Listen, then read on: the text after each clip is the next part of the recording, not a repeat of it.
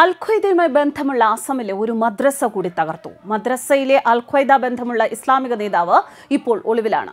അസമിലെ ഗോൾപാറ ജില്ലയിലെ പഖൂരിയാച്ചാറിൽ ഒരു ഇമാമിനെ പോലീസ് നേരത്തെ പിടികൂടിയിരുന്നു. തുടർന്ന് ദേശവിരുദ്ധ പ്രവർത്തനങ്ങൾ ആരോപിച്ച് നാട്ടുകാർ ഈ മദ്രസ അടിച്ചു തകർക്കുകയായിരുന്നു. ഒരു മദ്രസ പൊളിക്കാൻ നാട്ടുകാർ മുൻകൈ എടുക്കുന്നത് ഇത് ആദ്യമാണ്. മുസ്ലിങ്ങൾ ഉൾപ്പെടെയുള്ള നാട്ടുകാർ പൊളിക്കാൻ മുന്നിൽ ഉണ്ടായിരുന്നു എന്നതാണ് ഏറ്റവും ശ്രദ്ധേയം. പിടിയിലായ ജിഹാദി മദ്രസയിലെ അധ്യാപകനാണ് എന്നത് അവരെ അത്ഭുതപ്പെടുത്തി. ജിഹാദി പ്രവർത്തനങ്ങളെ പിന്തുണയ്ക്കുന്നില്ല എന്ന ശക്തമായ സന്ദേശം ജനങ്ങൾ നൽകിയിട്ടുണ്ട്. രണ്ട് ബംഗ്ലാദേശ് പൗരന്മാർ ഉപയോഗിച്ചിരുന്ന മദ്രസയും മദ്രസയോട് ചേർന്നുള്ള അവർ താമസിച്ച കെട്ടിടവുമാണ് ജനങ്ങൾ തകർത്തത്. പോലീസും ജില്ലാ അധികാരികളും എത്തുന്നതിനു മുൻപ് തന്നെ ഓപ്പറേഷൻ നാട്ടുകാർ ഏറ്റെടുത്ത് നടത്തുകയായിരുന്നു.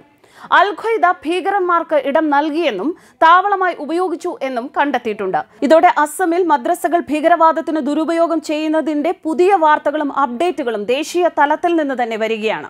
എന്നാൽ മദ്രസയിലെ ഭീകരന്മാരായി കഴിഞ്ഞ രണ്ടുപേർ ഒളിവിലാണ് എന്ന് അന്വേഷണ ഏജൻസികൾ പറയുന്നു. അസമിലെ ഗോൾപാറയിലാണ് മദ്രസ തകർത്തത്. അൽ ഖ്വയ്ദ പോലുള്ള അന്താരാഷ്ട്ര തീവ്രവാദ ഗ്രൂപ്പുകളോട് കൂറു പുലർത്തുന്നതിനാൽ ജിഹാദി ഘടകങ്ങളുടെ കേന്ദ്രങ്ങളായി പല മദ്രസകളും മാറുകയാണ്. ഭീകരവാദത്തിനെതിരെ സംസ്ഥാന സർക്കാർ നടത്തിയ അടിച്ചമർത്തലിനെ തുടർന്ന് തകർക്കപ്പെടുന്ന നാലാമത്തെ മദ്രസയായിരുന്നു ഇത്.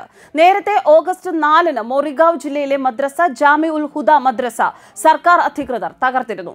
ജിഹാദികളെ തിരിച്ചറിയാൻ അധികാരികളെ സഹായിക്കണം എന്ന മുഖ്യമന്ത്രി ഹിമന്ത് ബിശ്വ ശർമ്മയുടെ ആഹ്വാനത്തിന് പിന്തുണയുമായി മുസ്ലിങ്ങൾ അടക്കം അസമിൽ രംഗത്ത് വന്നു. മുസ്ലിം ന്യൂനപക്ഷങ്ങൾക്കിടയിലെ സമാധാനം തല്ലിക്കെടുത്താൻ എത്തുന്ന ജിഹാദികൾക്കെതിരെ സമുദായത്തിനുള്ളിൽ തന്നെ വലിയ പ്രതിഷേധങ്ങളുണ്ട്. മുഖ്യമന്ത്രി ഹിമന്ത് ബിശ്വ ശർമ്മയുടെ ആഹ്വാനത്തിന് ചെവി കൊടുത്ത് ന്യൂനപക്ഷ സമുദായ അംഗങ്ങൾ തന്നെ ഒരു മദ്രസ തകർത്തതിന്റെ ആദ്യ ഉദാഹരണമാണ് ഗോൾപാറ പൊളിക്കൽ.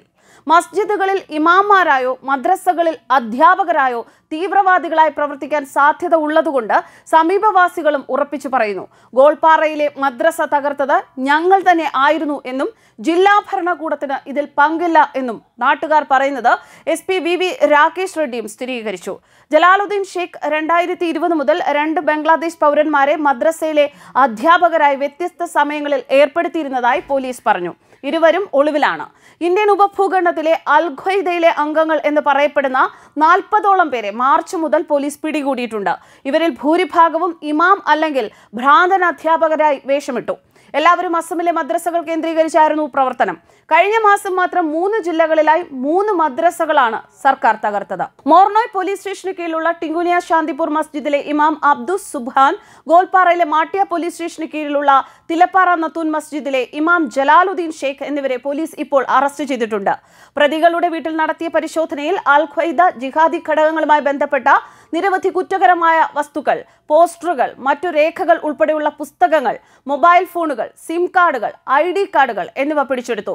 ബംഗ്ലാദേശിൽ നിന്ന് ഇവിടെ എത്തിയ ജിഹാദി ഭീകരർക്ക് അസമിലെ മുസ്ലിം നേതാക്കളിൽ ചിലർ പിന്തുണയും സഹായവും നൽകുകയായിരുന്നു.